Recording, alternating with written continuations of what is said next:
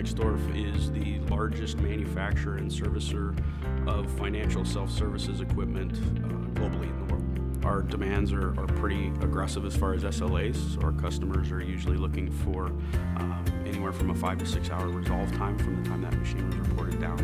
Um, and when we're trying to manage that across 10 million service tickets a year, automation is key, it's what drives us. When a machine reports itself down, and within a matter of two or three minutes, we can tell them when a tech's going to arrive on site.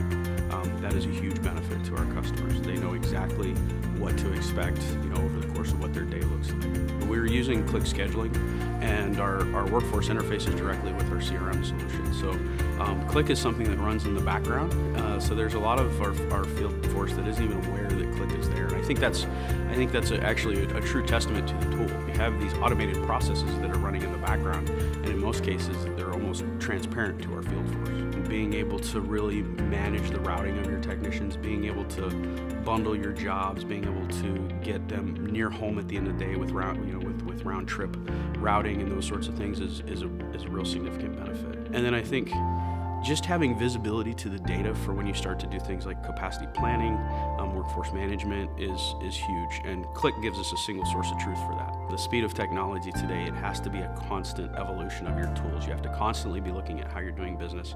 And so we've, we've recently, over the last couple of years, have really started to broaden and deepen our relationship with Click. Um, and instead of seeing them more as just a solution provider, I'm seeing more as a, as a trusted partner.